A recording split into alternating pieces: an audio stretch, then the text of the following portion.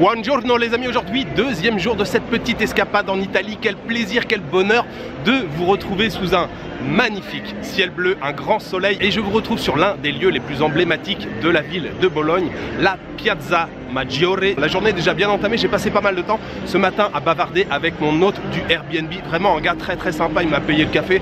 Il est archéologue, on a passé beaucoup de temps à bavarder ensemble. Alors quelques informations sur la ville de Bologne. Hier c'était une journée freestyle, je ne vous ai pas donné beaucoup d'informations. Aujourd'hui la population en Bologne c'est 400 000 habitants. La ville de Bologne et l'aire urbaine, c'est-à-dire avec les villes qui l'entourent, c'est à peu près 1 million d'habitants. C'est la capitale de la région Émilie-Romagne. La ville est également très connue pour son université. C'est la plus vieille université du monde occidental. Elle a été fondée en 1088 et aujourd'hui encore, cette université compte 100 000 étudiants. Oui, il y a 400 000 habitants ici, dont 100 000 étudiants. Et c'est vrai que la ville a beaucoup rayonné à travers les siècles grâce à son université. La ville est également très connue pour ses portiques. Alors nous, en France, on dit souvent arcade, ou c'est peut-être que moi qui dis arcade. Ici, il s'agit bien de portiques. Les portiques, ce sont ces avancées, ces pièces ouvertes sur la rue, mais soutenues avec des piliers. Et les arcades, c'est plutôt la forme de la voûte ou du plafond. D'ailleurs, ces portiques sont classés au patrimoine mondial de l'UNESCO depuis 2021. C'est assez récent. Juste dans le centre historique de Bologne,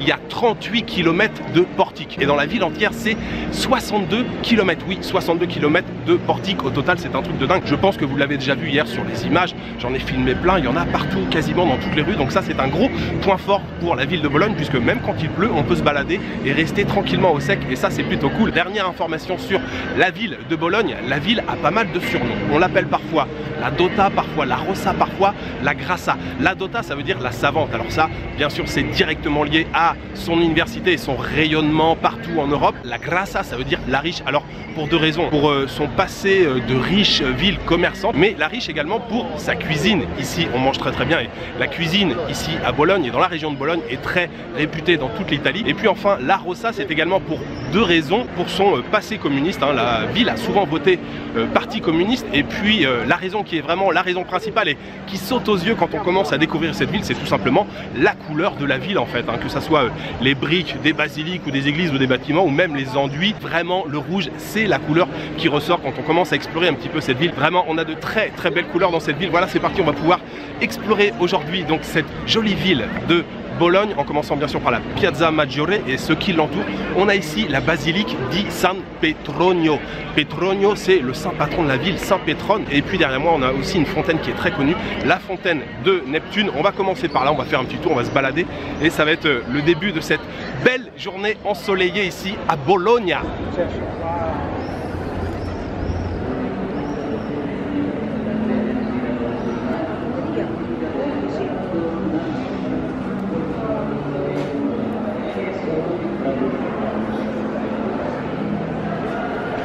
Par contre, avant de commencer la visite, vous avez cru que j'allais commencer euh, à explorer comme ça à sec sans rien boire? Non, évidemment, je suis à Bologne, je suis en Italie, je vais commencer la journée par prendre un espresso. J'aimerais bien aussi me trouver une, pâtisserie, genre une brioche, ce qu'on appelle la brioche ici, hein, c'est le croissant fourré euh, avec de la crème à l'intérieur.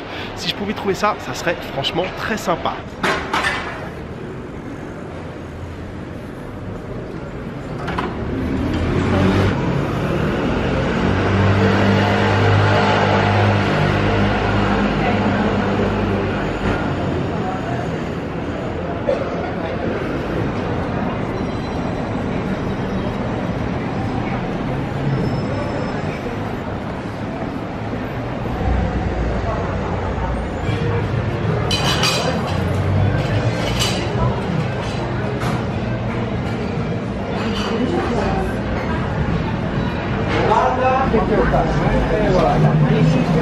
It's okay? Thank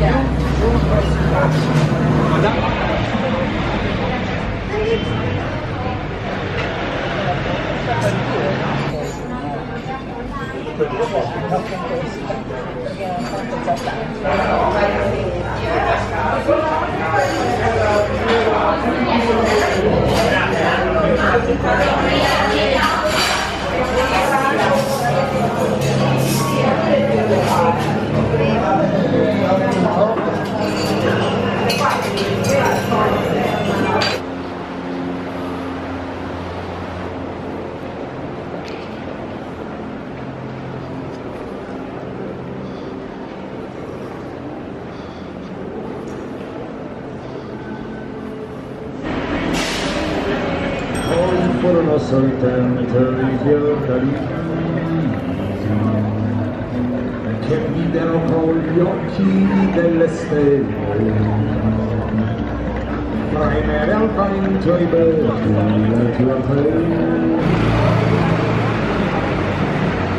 J'ai fini par trouver mon bonheur au café Gamberini, un café qui existe depuis 1907. Alors, c'est une adresse que j'avais repérée aussi. hein. J'ai fait quelques recherches en lisant euh, des blogs sur la ville de Bologne, quelques vidéos aussi sur la ville de Bologne. Et ce café, ouais, très sympa.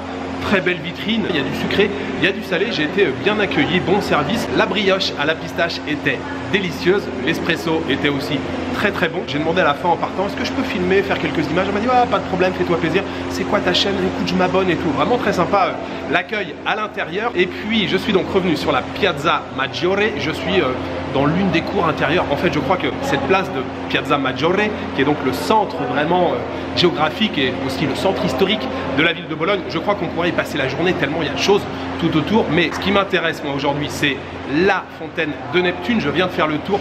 Franchement, très très belle fontaine avec donc euh, Neptune qui trône tout en haut et puis plein d'autres statues. Vraiment une très très belle fontaine. Et puis ce qu'on va aller découvrir maintenant, c'est donc la Basilica di San Petronio. C'est le saint patron de la ville de Bologne. Alors, le début de la construction de cette basilique, c'est 1390 et il y a eu plein de projets euh, d'extension, d'agrandissement et finalement, cette euh, basilique, a été euh, inachevée. On peut le voir sur la façade, il y a seulement la moitié qui est recouverte de marbre. Et on va dire que vraiment la fin des travaux de cette basilique, c'est 1659 et c'est vraiment la basilique emblématique de la ville de Bologne. Nous allons aller la visiter, c'est le programme pour la suite de cette journée.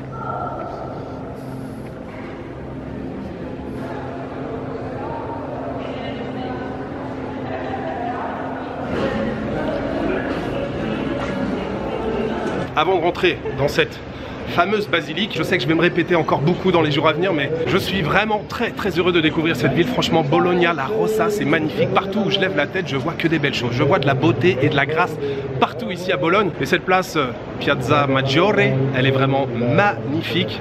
C'est vrai qu'on pourrait y passer la journée tellement il y a de choses à découvrir tout autour. Cette euh, façade de cette basilica di San Petronio, elle est vraiment magnifique. Parfois, je ressens tellement d'émotions que je ne sais pas comment exprimer mes sentiments. Je ne sais pas trouver les mots justes, mais euh, voilà, ce qu'il faut retenir, c'est que je suis très heureux d'être ici et que je suis euh, touché par euh, la beauté de cette ville.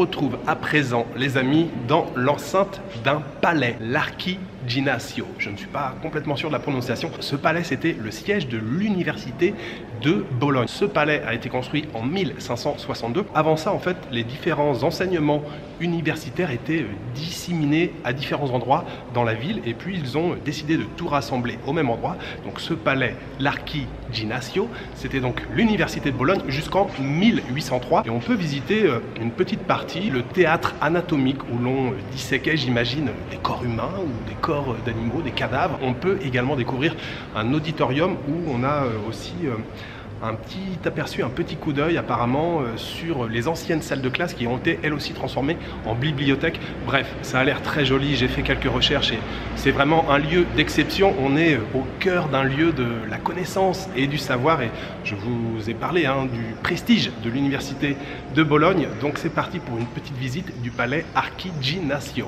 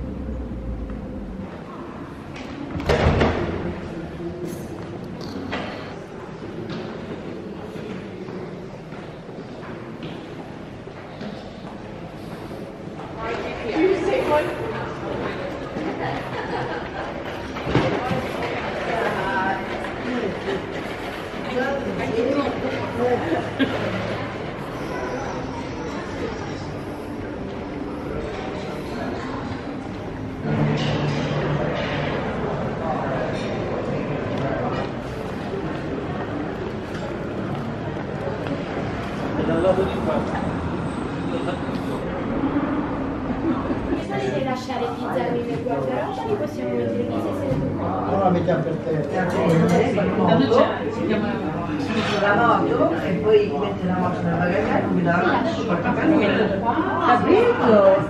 E ti faccio perché corino, ah, stasera non è più. è di più,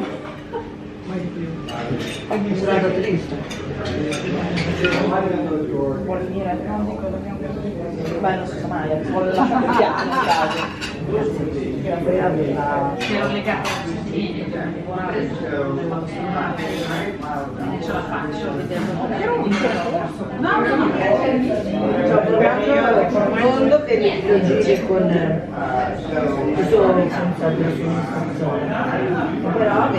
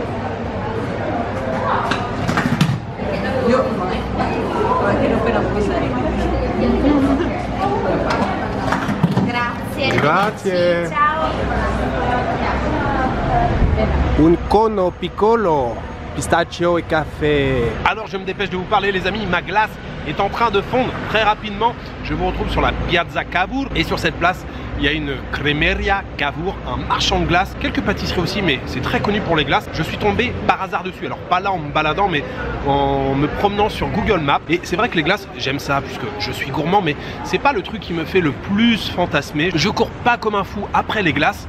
Et là, je viens d'y goûter déjà, puisque elle est en train de fondre. Le goût là, de la pistache, c'est un truc de dingue. Et là, je suis en train de découvrir le goût du café derrière. C'est un truc de fou.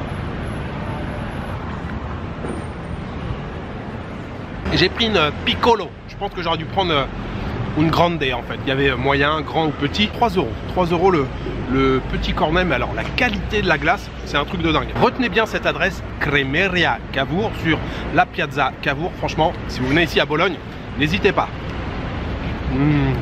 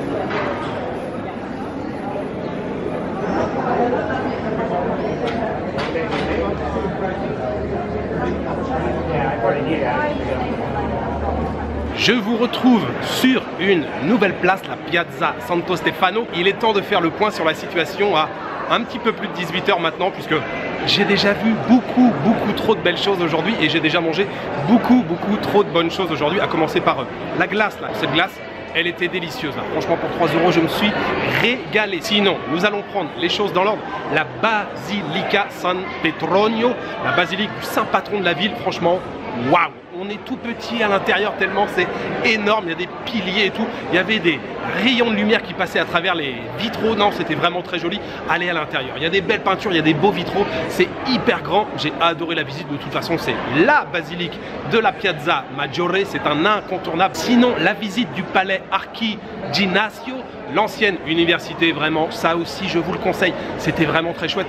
Le théâtre anatomique, là, il y a des sculptures en bois partout, non, vraiment, c'est de toute beauté. Il y a un ticket d'entrée pour entrer à l'intérieur de 3 euros qui vous donne accès donc à l'auditorium et donc au théâtre anatomique, là, vraiment, allez le visiter parce que c'est un haut lieu du savoir et de la connaissance ici à Bologne. Et puis, je suis allé ensuite dans le Santuario Santa Maria della Vita. Jusqu'à l'intérieur, il y a vraiment quelque chose qui m'intéressait, que je voulais découvrir depuis très longtemps. Je connaissais cette œuvre avant de venir à Bologne et je suis donc allé voir la déploration du Christ mort. Cette œuvre a été réalisée par l'artiste Niccolo dell'Arca au 15e siècle et en fait on a donc six personnages qui sont posés devant le Christ mort allongé. Donc on a au total sept personnages avec le Christ et le personnage le plus impressionnant c'est Marie-Madeleine qui se trouve tout à droite avec la bouche grande ouverte. On a l'impression de l'entendre crier et vraiment cette œuvre elle est magistrale. Je suis resté tout un moment devant alors d'abord à faire quelques plans puis ensuite j'ai vraiment euh, profiter comme ça. Il y avait quasiment personne. Il y avait deux personnes avec moi seulement, puisque dans l'église on peut rentrer, mais pour observer cette œuvre, il faut un petit ticket d'entrée qui est de 5 euros. Donc il y avait seulement deux personnes autour de moi. C'était calme, j'ai pu vraiment profiter, regarder tout en détail. Et ces personnages, ils sont en terre cuite. Non, vraiment, c'est très très très joli. Chaque personnage a vraiment euh, des traits de caractère, des expressions euh, différentes, mais surtout Marie-Madeleine là qui est tout au bout avec euh, cette bouche grande ouverte, on a vraiment l'impression de l'entendre crier. J'ai adoré la visite, vraiment c'était trop trop cool. Et l'une des choses les plus importantes, c'est le déjeuner que j'ai fait ce midi. Je suis allé dans une trattoria où je voulais déjà manger hier soir, mais c'était plein, donc j'ai réservé pour ce midi. Cette trattoria, ça s'appelle Gracili et je vous la conseille très très vivement. La trattoria que j'ai faite hier, c'était déjà très sympa, mais là aujourd'hui, on avait le service vraiment excellent, on avait un cadre de qualité, mais surtout ce qu'on avait dans l'assiette, c'était vraiment très très bon. J'ai commencé avec un assortiment de charcuterie, il y avait plusieurs types de mortadelles, waouh, servi avec un petit peu de pain bien sûr. Alors le pain en Italie, c'est pas ce qu'il y a de meilleur, hein. on est d'accord, on se refait pas, on est français, en tout cas je suis français, mais la mortadelle là, waouh, il y avait du jambon de Parme, enfin c'était vraiment délicieux. J'ai pris ensuite des passatelli, c'est un type de pâte originaire de cette région. Ce sont des pâtes qui sont faites à base de, de chapelure et de parmesan et elles sont cuites dans un bouillon de poulet. Elles sont non seulement cuites dans ce bouillon de poulet, mais elles sont servies avec ce bouillon de poulet. Je me suis régalé. La texture hyper intéressante, le goût du bouillon de poulet hyper savoureux, c'était vraiment génial. Et euh, la serveuse là qui s'est occupée de moi, vraiment très très sympathique. Je me suis pris bien sûr un verre de vin rouge de la région de Ravenne. Ravenne, c'est tout près d'ici. Vraiment euh, pareil, hein. encore un repas très typique aujourd'hui. Bouteille d'eau et un café pour terminer. Je me suis régalé du début à la fin et j'ai payé 40 euros. C'est ça, 40 euros. Et j'ai laissé un bon pourboire en plus puisque le service était vraiment nickel. Le cadre à l'intérieur très sympa. Il y a des bouteilles de vin un peu partout. Il y a des cadres avec plein de photos noir et blanc. J'ai adoré cette adresse. Je vous la conseille si vous cherchez une bonne trattoria ici à Bologne, je conseille cette adresse. Voilà, je crois que j'ai fait le tour de ce que j'avais à vous dire. Et comme il est un peu plus de 18h maintenant, c'est l'heure de boire un spritz.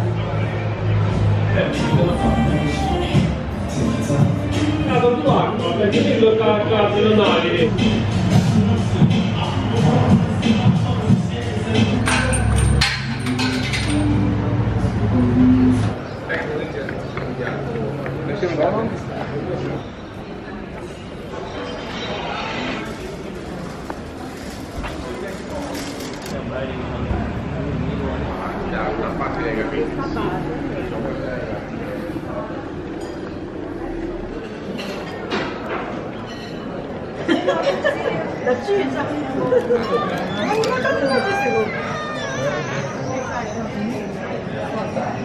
他不？的。